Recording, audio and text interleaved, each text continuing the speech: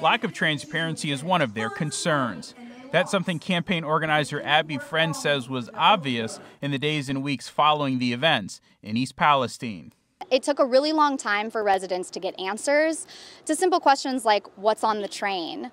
What are you burning and putting into our waterways and into our air. Members of Railroad Workers United and an environmental safety expert spoke about the effects of the East Palestine derailment. The event aimed to inform residents about the proposed $1.6 billion sale that will appear on the ballot in November.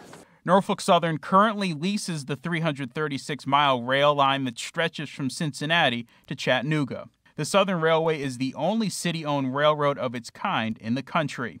If voters approve the sale, the city plans to use the money to pay for infrastructure improvements. Norfolk Southern currently pays the city about $26 million a year to lease the line. The city is talking about this once in a lifetime, huge payment, um, but the reality is, like, this asset has generated income for generations and generations of Cincinnatians.